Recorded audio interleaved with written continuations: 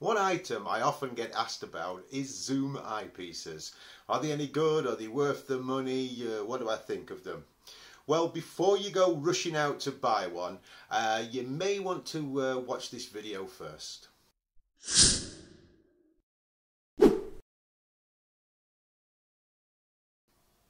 Hello, welcome back to the channel. My name is Jason.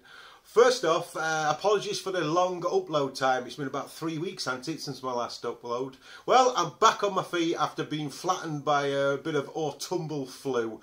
So I've been feeling sorry for myself for the last couple of weeks. Anyway, uh, back, back in full health now, so we're uh, on with the show. Now, just in case you're not familiar what a Zoom eyepiece is, this isn't a Zoom eyepiece. Um, I do own one. Uh, more more about that in a, in a short while.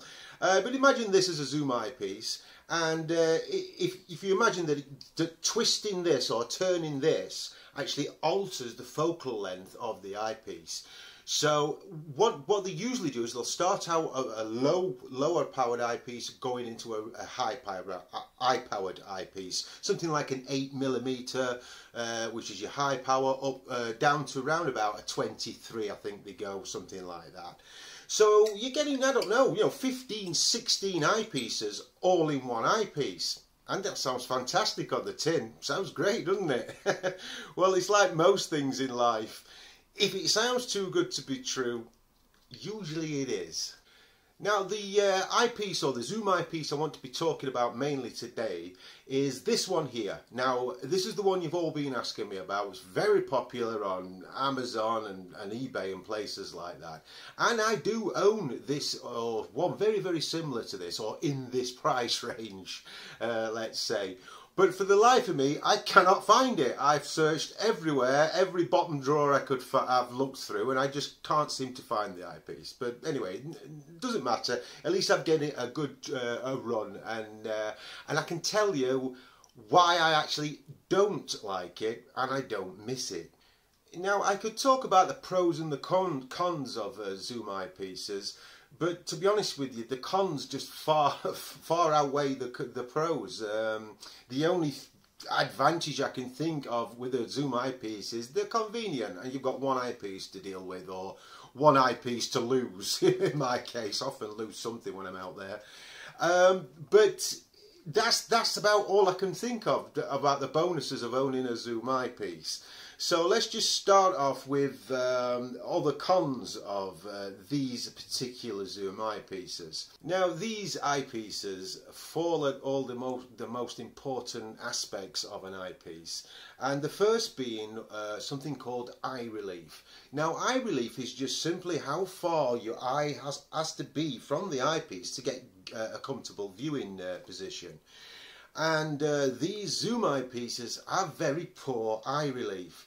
Now, if you're an eyeglass wearer, uh, you wear prescription uh, glasses, you know what a problem this can be when you've got eyepieces with uh, very narrow eye relief. So that's the first bad thing um, with these uh, zoom eyepieces. But by far the worst thing about these eyepieces is two things. One, they have really bad uh, a thing called coma, and another thing they have is something called chromatic aberration.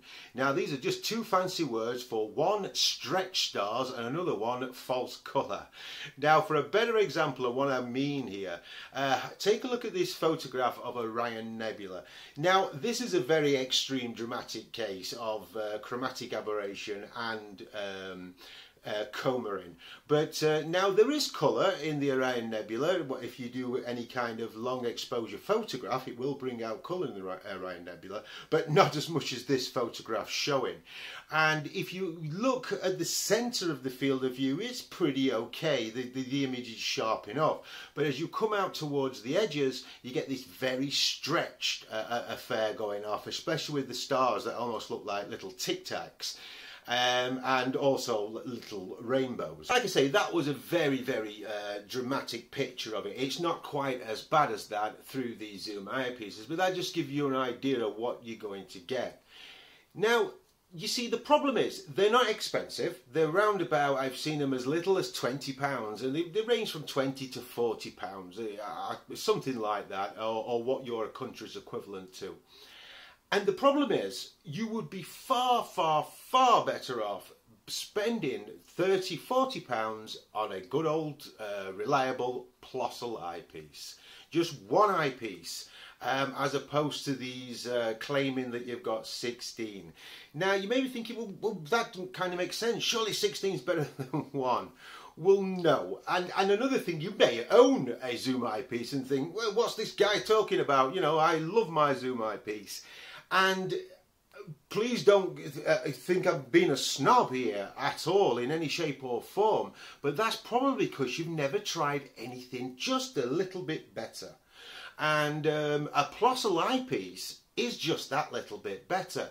They're not expensive Plössl eyepieces and a good Plössl eyepiece can last you a lifetime. I always recommend a 15mm Plössl, works great with a Barlow um, and will get you get so much more use out of a 15mm Plössl than you will one of these zoom eyepieces. See, if you think of zoom eyepieces a little bit like a Swiss Army knife or a multi-tool, all those individual tools are useful and they serve a purpose, but not one of them is as good as the actual individual tools. And a zoom eyepiece is never going to be as good as an, in, an you know separate individual eyepieces. Now my biggest bugbear with zoom eyepieces are they are very appealing to the beginner, somebody who's just starting in astronomy, um, because of what they claim to do. You know, as soon as you can hear that they, you know, can zoom in so many times, it's just so appealing. And th there's a big problem with this when you when you first learning astronomy. Now, I always preach to spend time at the eyepiece. If you're doing any kind of visual astronomy, just to, to spend, you know, a good five minutes at the eyepiece, which doesn't sound like a long time, but five minutes just standing at an eyepiece is quite a long time. But once you take in um, and, and spend time and take in all the information that you're actually seeing, you're going to appreciate the hobby so much more in the long run. What zoom eyepieces do, especially when you're new to the hobby, is you're just going to play with it all the time. You're not really, it's going to be more of a distraction than something that's going to aid you because you're just going to be putting it in there and the next thing you're going to be zooming it, oh look, I'm going to make it go zoom that bigger, then you'll be zooming in and out and then you'll point it to a planet and you'll be doing the same and to the moon. and you'll be just playing and you'll be just spending more time than actually taking these amazing targets. And something as simple as the moon something that you've seen a thousand times spend time at the eyepiece just observing it under low power.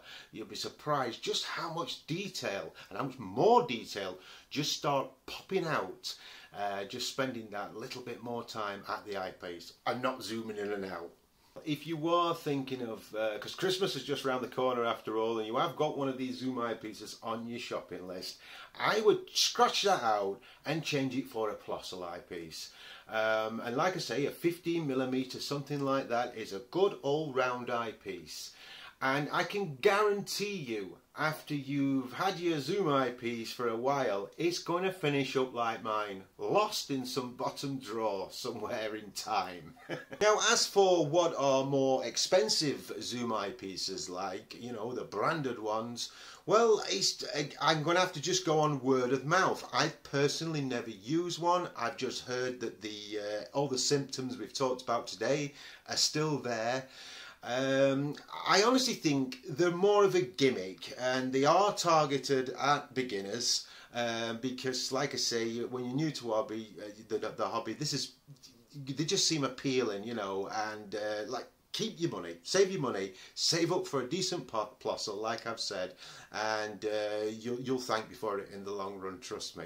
Well, there you go, folks. That's my opinion on Zoom eyepieces. Uh, don't forget to subscribe if you haven't already subscribed and hit the notifications bell because I do like to do regular uploads and uh, I, I, like to get one out at least once a week so uh, you don't want to miss the next one. You never know, might be that video you've just been looking for. Well, in the meantime, folks, go and uh, buy yourself a Plössl, not a Zoom, and I will see you on the next one. Bye for now.